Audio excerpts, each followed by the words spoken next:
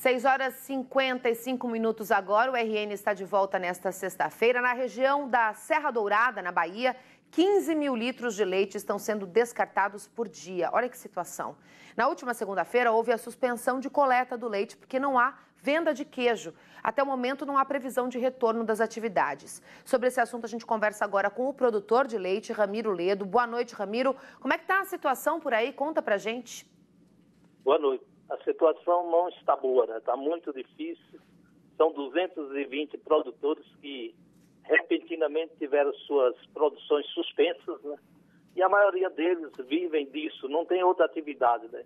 Essa é a, é a manutenção da família, a manutenção de todas as suas despesas com o rebanho.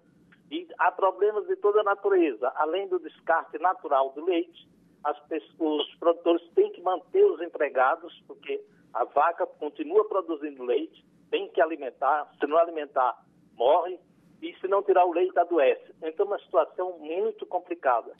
São esses 15 mil litros de leite que vão para o lixo todos os dias, né? E 99% dessas pessoas, desses produtores, são todos é, produtores que a única manutenção de suas famílias. Né?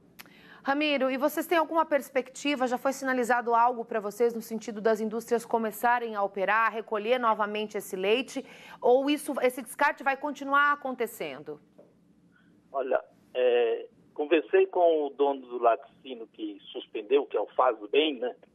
Que no momento não está fazendo nada bem, né? Mas é uma, digamos assim, uma situação atípica, né? Decorrente aí do coronavírus, né?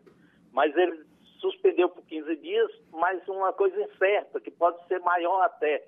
Nós estamos tentando contato com outros laticínios, mas a demanda nesse sentido está sendo muito grande, porque vários laticínios pequenos que fazem, têm o queijo como seu único produto, agora esbarrou com as pizzarias, restaurantes, pousadas, todas fechadas, consumo diminuiu, então estão também suspendendo as coletas. Né? Então, o problema está generalizado.